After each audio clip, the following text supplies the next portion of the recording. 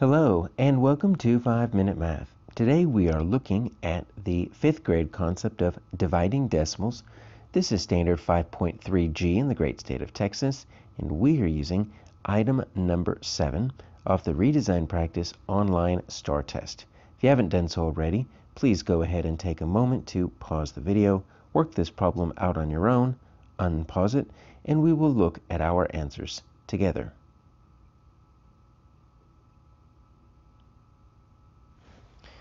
So we've got a farmer dividing 124 and 8 tenths pounds of berries equally into 8 baskets. How many pounds of berries went into each basket? So let's open up our graph draw feature. It is a pretty straightforward problem because if you read it carefully, they tell you exactly what to do. Look at this, divided.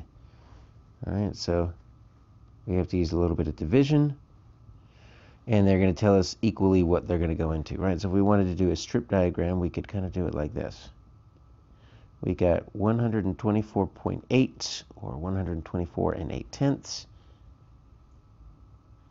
And we're going to equally go into eight baskets. So I'm going to draw a whole, cut it in half to make halves, cut each half in half to make fourths, cut each fourth in half to make eighths. All right, so that's that's my representation there. So how do we do that? Well, what we're going to do is we're going to pretend like it's long division. All right, so let's go 8 into, and I'll use these little squares to kind of keep me keep me going. Point eight. Now, the thing about dividing with decimals is that if you have a decimal in the divisor, right? So here is my uh, divisor. You need to move it out by shifting the divisor and the dividend uh, into, you know, to the left or the right to get rid of that decimal. We don't have a decimal in the divisor uh, we have a decimal in the dividend. That's the number you're dividing into. The answer up here is going to be my quotient, right? That's my answer. So as long as your uh, decimal is in your dividend, you're good. If it's in the divisor, you got to shift everything to get it out of there. So all we're going to do is we're going to move the decimal up to the quotient bar, and then we're good. We're going to divide like normal. We're going to pretend that it's just 8 into 1,248. We're going to completely ignore the decimal once we move it up there. So 8 goes into 12, right? It doesn't go into 1, goes into 12 one time. So we'll put the answer right up above. Use these little squares if you've got them to keep things nice and neat and ordered. So 1 times 8 is going to be 8. Subtract. Always check to make sure is your remainder less than your divisor. Yes, 4 is less than 8. If it's equal or greater, you messed up and you got to divide a little bit bigger. We only bring down one number at a time. So now we're going to do 44. We're going to ignore the date for now. Divide all over again. 8 goes into 44. We have to know our facts. 8 times 6 is 48. That's too big. I'm going to do 8 times 5. It's going to be 40.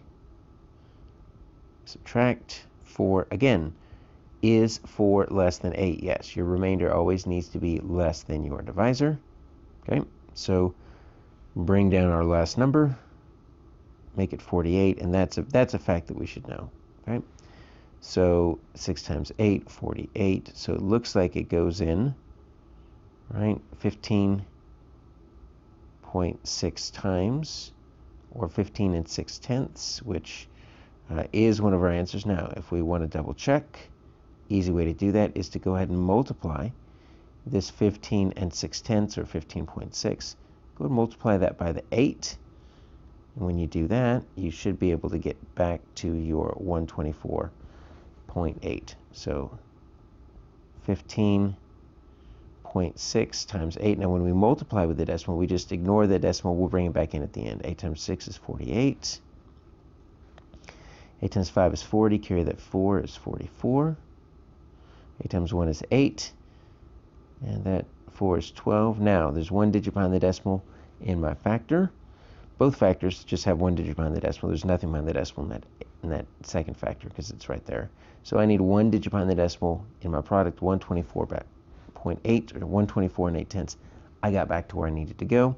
So 15 and 6 tenths is my answer, which is D.